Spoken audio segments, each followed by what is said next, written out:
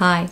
So your cake cracked. No worries, it happens to the best of us. Let's see if we can fix it so it's perfect for your next bake.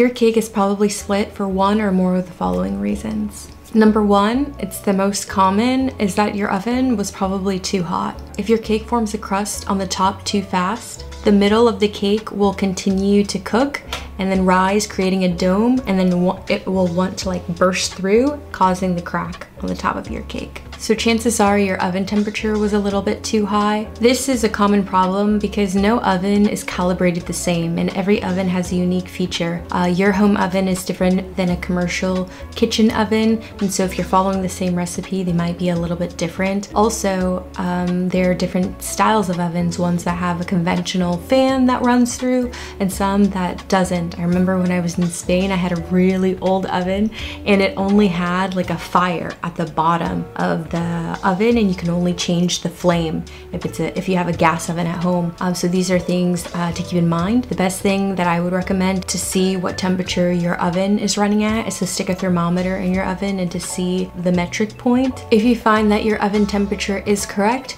the chances are it was the fault of the recipe.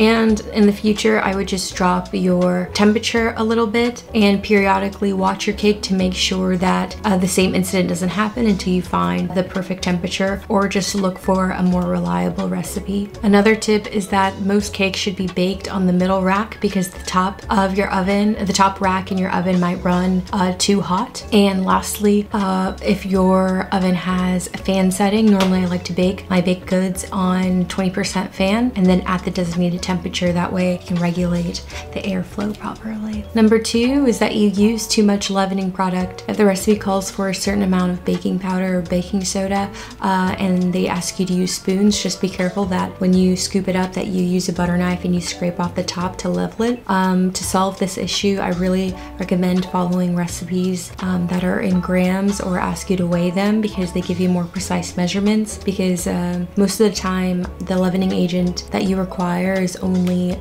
a matter of a few grams, 5 to 10 grams, a teaspoon. It's such minuscule amounts, but if you accidentally put too much, it can really change the impact of your overall baked product. Number three, your cake tin uh, is too small. Oftentimes, uh, a recipe will ask you to split uh, cake batter into two designated pans, but maybe you only have one really big one. And so you pour all of the batter and it's still halfway, you think it'll rise, but there's something to consider like the density and now the new weight of your cake. Uh, it's really hard for your cake to be able to cook evenly. And so as it's rising, it'll create this dome still and then it'll crack. Um, so the best thing for you to do in this case is uh, it's recommended recommended to put like a bowl of water into your oven. That way the vapor um, and the steam from the water kind of encourage uh, even bake for your cake um, if you do design if you do want to use the bigger pan, but chances are your, your tin was too small. Number four, uh, recipe imbalance. Oftentimes uh, us bakers, we really just like to scoop things and then dump into the recipe. And so that means you probably added a little bit too much flour.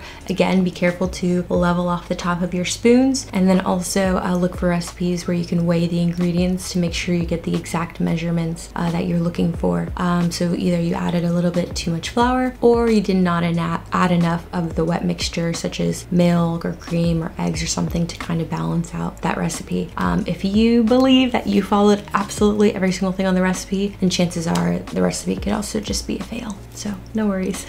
Number five, overmixing. Overmixing is so common when you're baking a cake. It's careful to pay attention to uh, what the recipe has called for uh, because when you add any sort of liquid to flour um, and start mixing, it's automatically going to start working the gluten uh, in flour and basically that's just building up all those strands, which is beautiful for bread but horrible for cakes. It kind of changes the texture and makes it really dense and hard to eat, um, but that's also probably why you have a crack on the top of your cake. Last but not least, uh, opening your oven. I know we get so excited to see the progress of our cakes. We want to touch the spring and make sure that everything is rising properly, but opening and closing the oven causes too much of a variance in temperatures because you're letting all that hot air escape. Um, so that could easily uh, be a reason why you have a crack on your cake. You just stressed it out too much. So if, you, if that's you, then just, you know, maybe turn on your oven light and peer through the window and just hope for the best. Uh, but keep that oven closed. I hope that these tips help you and kind of help you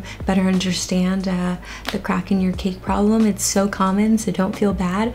Uh, I'm sure your cake equally tastes delicious, even though it's not the most aesthetic. You can easily turn your cake into an ice cream sundae or some other form of a dessert, such as um, a cake pop or things like that, and then just try again. That's the fun thing about baking. Um, you just experiment a little and then uh, you make a couple mistakes and then the next time it'll be even better. So if you have any more questions or you really enjoyed this video, consider subscribing. I'll have baking tip videos coming up every single week. Um, but as always, live life with love and love food with life. Bye guys.